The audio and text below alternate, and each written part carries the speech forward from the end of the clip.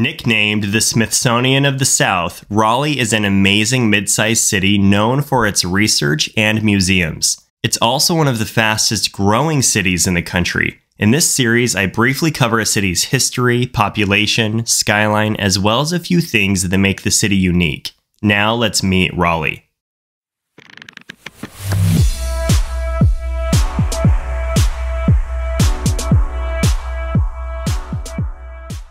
Always like to start by exploring how a city wound up being where it is today. Unlike most cities that organically emerged and grew due to advantages of their geographic location, Raleigh was planned out before it was ever settled.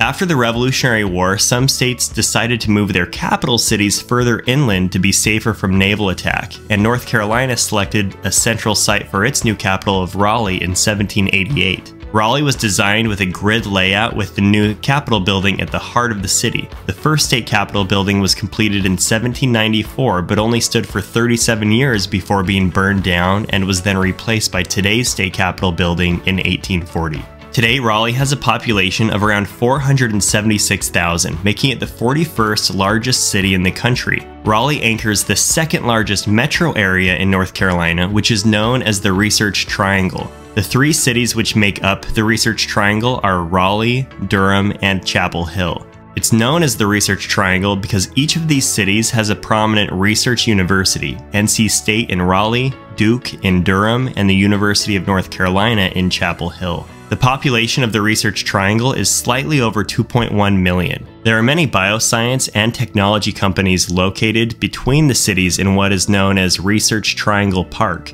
which has led to Raleigh being one of the fastest growing economies in the country. I'll talk more about Research Triangle Park later in the video. Some of the most recognizable companies headquartered in the Raleigh metro are Advanced Auto Parts, Red Hat, and Burt's Bees. Call me shallow, but when it comes to cities, I think appearances matter, which is why evaluating a city's skyline is one of my favorite parts of making these videos.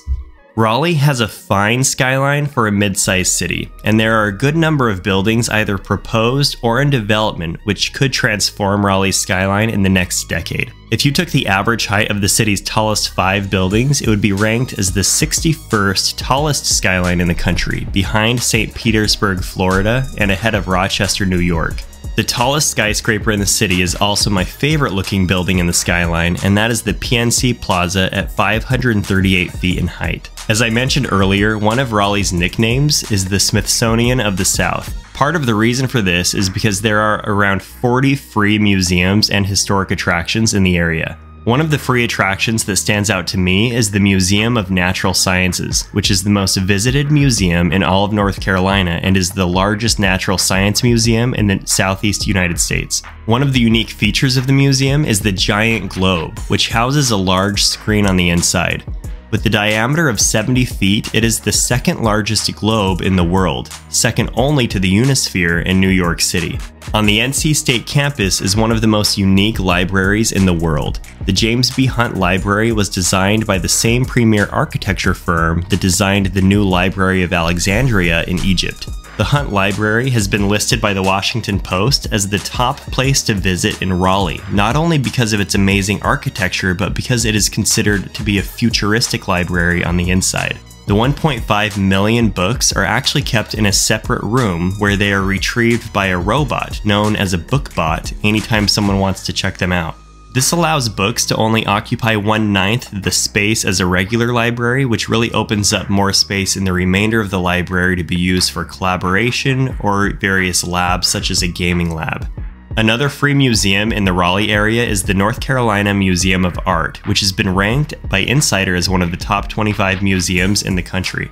One of the interesting things about the museum is that it is located within a 164 acre park with trails and large public art installations. It's the largest museum art park in the country. Another park worth mentioning is Pullen Park, which is North Carolina's first public park the park has a few small rides, which makes it the fifth oldest operating amusement park in the country. And now I need to circle back to another type of park, the Research Triangle Park. The Research Triangle Park is 7,000 acres, which makes it the largest research park in the country. There are over 300 companies that have locations within the park. Many of the companies in the park are in the startup phase, but some of the large companies that have locations within the park are IBM, Cisco, and Lenovo. And Apple is in the process of building a location within Research Triangle Park as well. Between Research Triangle Park and downtown Raleigh is the PNC Arena, which is home to the Carolina Hurricanes NHL team as well as the NC State men's basketball team. With a seating capacity of 19,500, it is the eighth largest arena in the NCAA. Another unique museum in the city is the Pope House Museum.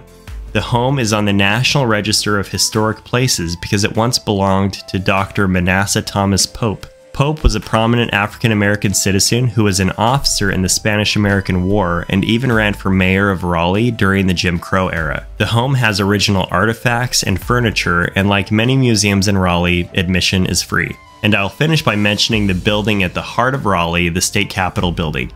It's not the flashiest or the most memorable state capitol building, but it is one of the best preserved examples of Greek revival style architecture in the country. Well, that wraps up my video about Raleigh. If you enjoyed the video, please give it a like and check out some of my other videos about cities. And if you have a city you'd like to see an overview on, let me know in the comments. Thanks for watching.